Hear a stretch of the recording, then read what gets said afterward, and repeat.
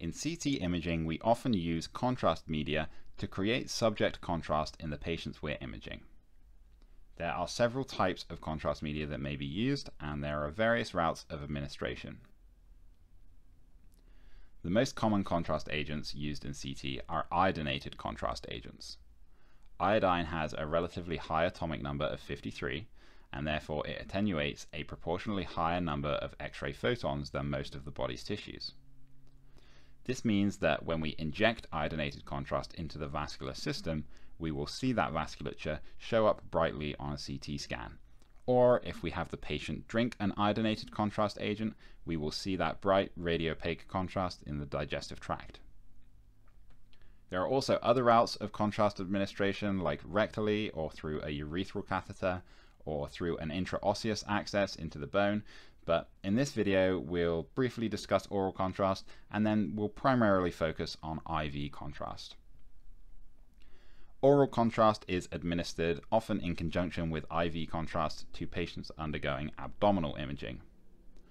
Oral contrast allows radiologists to discriminate between contrast-filled bowel and surrounding structures within the abdomen. So the whole digestive tract is visualized with contrast on the scan. Intravenous contrast is the most common route of administration, and often the CT technologist will be the one preparing the patient for the contrast by obtaining IV access, typically in the hand or the antecubital fossa.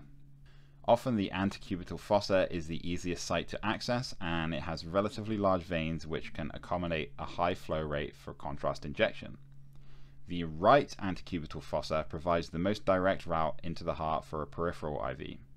Central venous access devices such as PICC lines or portacaths can also be used for IV contrast injection, as long as they're approved for use with a power injector system, which we will talk about shortly.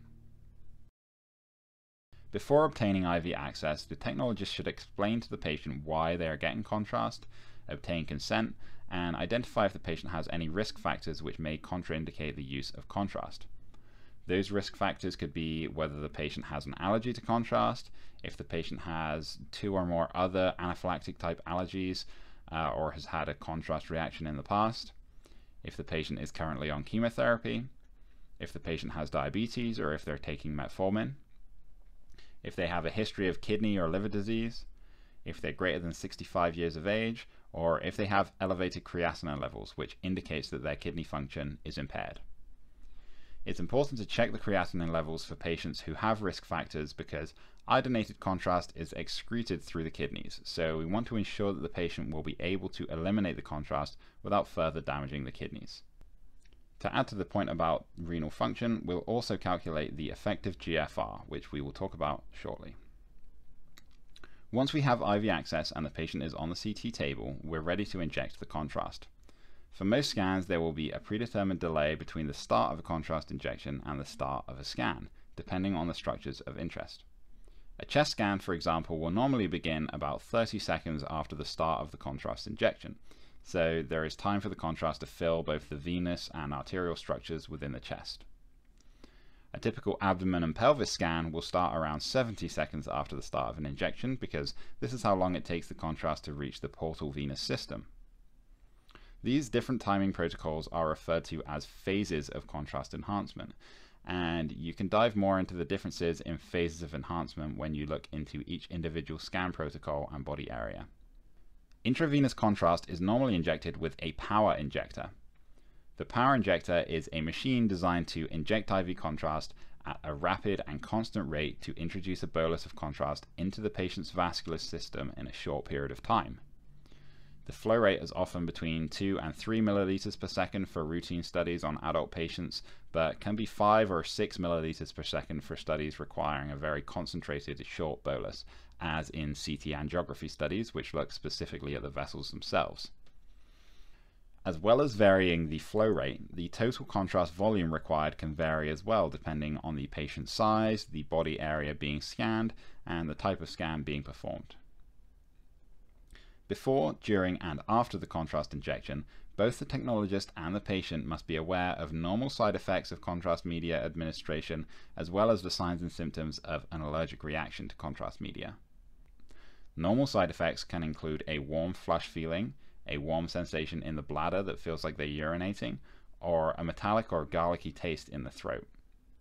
Adverse reactions to contrast media can be categorized into mild, moderate, and severe reactions. Mild reactions could include a cough, itchiness, hives, some eye swelling, or nasal congestion. Moderate reactions could include respiratory issues, swelling of the airway, variations in pulse and blood pressure. Severe reactions could include life-threatening respiratory distress, the patient could become unresponsive, and respiratory or cardiac arrest could occur. The radiologist should be called quickly to assess the patient in the event of any reaction as the signs of a mild reaction can quickly escalate to a moderate or life-threatening situation. Moderate or severe reactions might warrant the administration of epinephrine, and most CT departments will always have an EpiPen nearby so that epinephrine can be administered quickly in the event of a reaction. The tech should always be aware of the location of the nearest crash cart and the protocol to initiate in the event of a life-threatening reaction. Adverse events other than allergic reactions can occur from IV contrast administration.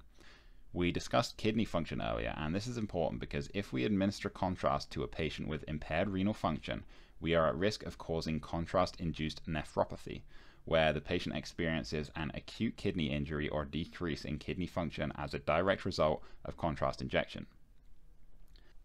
Our best method of preventing this is to make sure we only administer contrast to patients who have healthy kidneys by checking the creatinine levels, or if it's an emergency situation where there is no time to check the blood work, only administer contrast if the benefit and necessity of the scan outweighs those risks.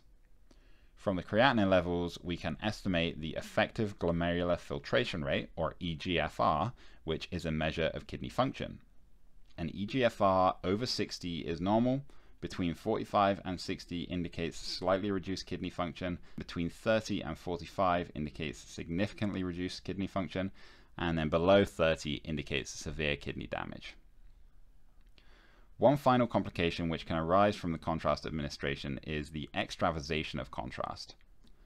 In this scenario, the contrast agent is delivered by the power injector, but it doesn't go into the venous system. Instead, it goes into the surrounding space around the injection site. In this scenario, the patient will almost always complain of pain at the IV site while or after the injection has happened, and there will be an obvious hardness under the skin at the site of injection. The technologist should always check that the IV is working and flushing properly with saline before injecting contrast to try to prevent this from happening. If it does happen, the patient should be advised to apply compression at the site, and in most cases, the contrast will be absorbed and eliminated. In rare occurrences, contrast extravasation can lead to further complications at the site, such as compartment syndrome, where the swelling causes impairment of blood flow. If extravasation is actively occurring, the injection should be stopped immediately, and the technologist will often have to find an alternative IV site and repeat the injection to acquire the scan. As always, thanks for watching and keep up the hard work.